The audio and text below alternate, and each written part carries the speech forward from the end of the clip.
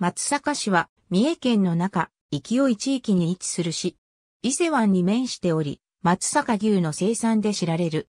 江戸時代は伊勢商人を輩出した商業庁であり、現在も紀勢本線や近鉄大阪線、山田線沿線を広配地に持つ三重県の経済拠点である。江戸時代は紀州藩領であった。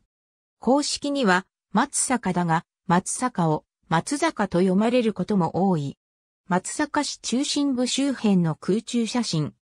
1983年撮影の6枚を合成作成。国土交通省国土地理院地図、空中写真閲覧サービスの空中写真をもとに作成。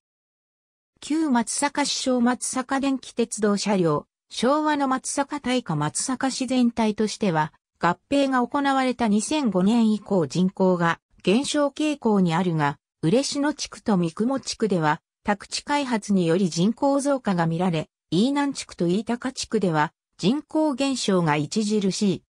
市議会、議員定数28名、任期、平成25年8月1日平成29年7月31日、松阪牛松阪商工会議所松阪市に本社を置く、企業かつて存在した企業松阪市に工場を置く、企業松阪市内の郵便番号は以下の通り。市の中心となる駅、松阪駅高速バス、一般路線バス高速道路一般国道三重県道、元折のりなが旧宅外館。ありがとうございます。